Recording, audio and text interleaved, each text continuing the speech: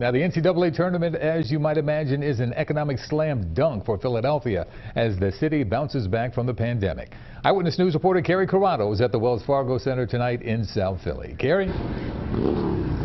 Yuki, good evening. You have to love this March Madness. The Wells Fargo Center, the big stage tonight. Bars and restaurants, they are benefiting from this rush, and they say they are ready for it.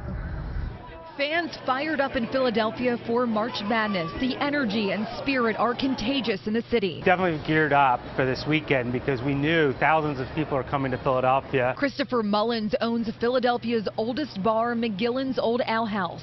He says this is one of the best weekends they had since 2019. He even hung the St. Peter's Peacock flag next to beloved Villanova. We love that they have the Peacock flag here. It's amazing. Long time in coming. They haven't been in a game like this since 1968 in the Garden when they beat Duke. And we're down here to see another big victory. It's just fun to see some of the, the other alumni from uh, St. Peter's and yeah, it's, it's, it's, it feels like we're home. Very exciting for them to be in Philadelphia and see a bar that is supporting the underdog. Over at Victory Brewing Company, they too are thrilled to see the city come to life. We're, we're loving it too because it drives in a lot of extra traffic for us. The whole goal is to have as many people that aren't actually at the game, Philadelphia, uh, here in the tap room enjoying all the food and uh, hospitality. General Manager Connor Martin says they were ready for the NCAA rush. Our staff has been trained since we opened last October to be really good at handling high volume. The big dance bringing a big, much needed boost to the city. Having the Sweet 16 here in Philly has been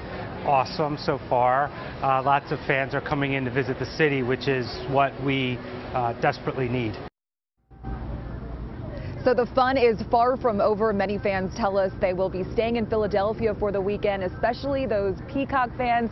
They say they're going to continue to keep the celebration going. We're live outside of the Wells Fargo Center tonight. Kerri Corrado, CBS 3 Eyewitness News. Big win tonight. Welcome to all. Kerri, thank you. Eyewitness News will be with Villanova every step of the way. You can always find the latest news from the Wildcats at cbsphilly.com slash March Madness.